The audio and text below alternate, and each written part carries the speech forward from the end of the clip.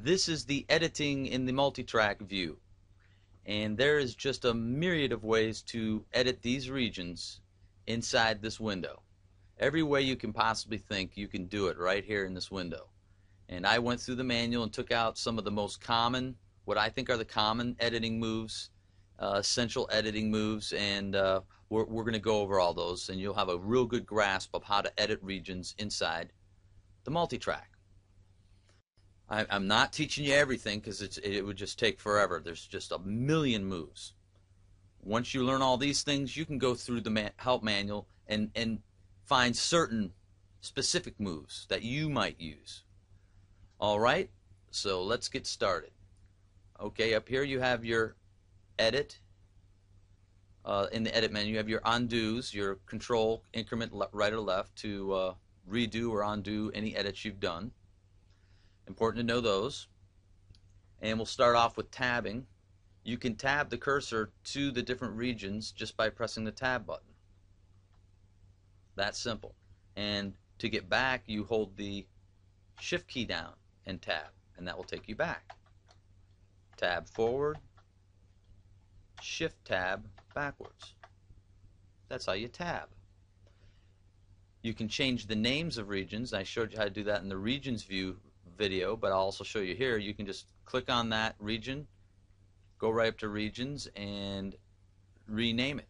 You can name it whatever you want. We'll name this uh, 345. There you go. We named it 345. That's how you can rename them right there. All right, let's. Where are we going next here? Okay. One way to selecting regions and areas in the multi-track in normal mode, and that's what we're in right now. We're in normal mode. If we were to go up here and click this, we'd be in select mode. But right now, uh, the, the help manual calls this normal mode. And of course, you can you can wherever the cursor is, you can press the the uh, the the B key and put the cursor wherever you want it, and press the E key, and you've selected a mark area, marked area. That's one way to do it. Another way to do it would be to click down here, left click down here and drag. You can select that way. And you got to remember, one thing you got to understand is that we're selecting this in the hot track, and that is, uh, you can tell by the lines here, the highlighted lines. This is the hot track, this is the hot track, very easy to understand.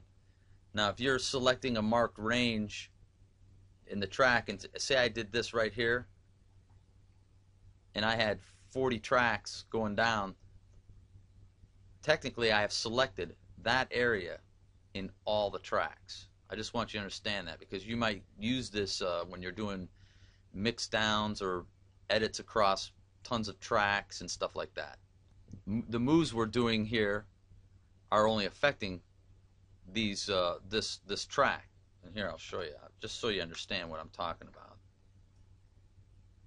See, I'm going to select, say I'm going to select this area right here, and I'm going to press the delete key. I didn't delete these.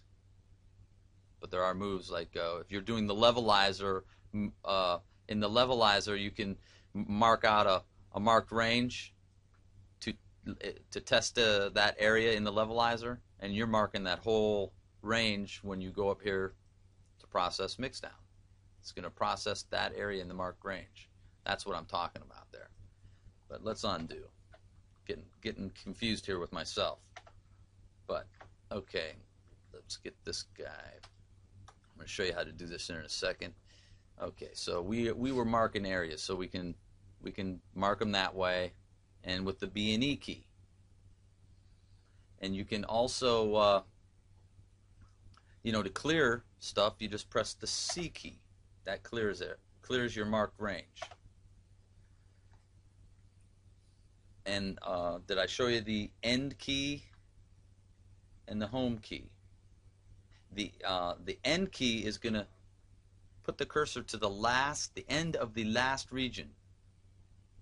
So if I have a region that is uh, over here, I go home, and this is my hot track. Watch when I press end, it's going to go to the to end of that one. Important to know that. All right. Let's see. Let's stay on uh, course here. You can also select marked begin and or mark regions while the cursor is playing. So I'm going to hit the space bar and we're playing. I'm going to press the B key and see it starts. And where I want it to end, I press the E key. And I, and I marked a, uh, a range, an area that way. Press the C key to clear. That's another way of marking in normal mode. And uh, I think that goes, that that's enough there. I think that's it. And uh, another way here, one more way, if if I was to hit the the control key with the B or E key, wherever the cursor is, it's just going to select that region. Here's the control E key. See it? Very easy way to select a specific region when you're not in select mode. Just like that. That's a control B or E key. And another thing to understand when you're doing this is if you have uh, soft edge on this, say if soft edge on this uh, region here, and you want to select the region and the soft edge, you would hold down the Alt key and press the B or E key. Now that region and any soft edge is is selected so that if I move it, the soft edge will go along with it. That can come in handy. So remember, that's the Alt B or E key to select everything. That's what I use, just everything. But you have the option not to use the, the control key. There's options. There's so many options in this program. It's amazing. You can you can learn the things that you're going to use the most and it's there for you. The program will do it for you. Believe me. Okay. Okay, how do you drag a region?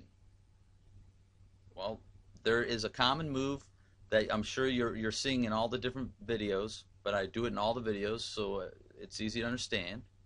You can shift left click and you see how the the lines show up there like that? No, if I'm I'm moving the mouse up and down, it won't move go up or down. It's locked in that track, moving right or left. And if I let go, it moved it. If I hold down the control key and do that, now it's locked up or down. It will not move right or left. So I can move that right down there and it stays right in the right where it is in the time. Does not move at all.